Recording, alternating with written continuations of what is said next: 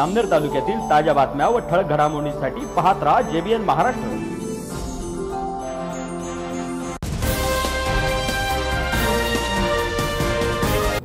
नमस्कार मी मिनल चौधरी. पाहूया काही ठळक वृत्त.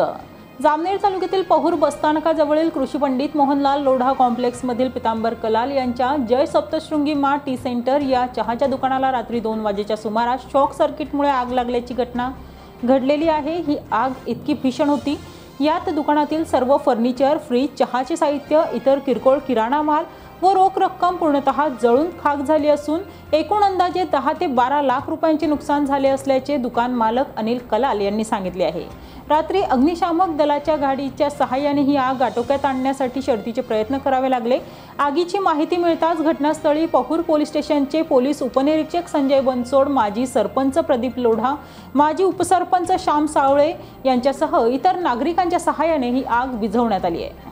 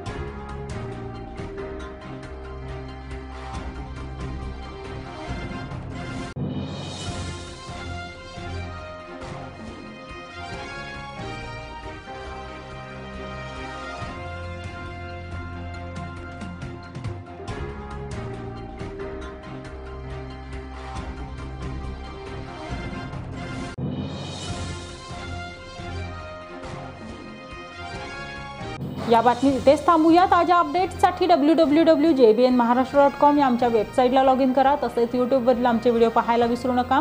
आणि Google play स्टोअरवरील J B N news app download करून J B N Maharashtra news channel live पहा. नमस्कार.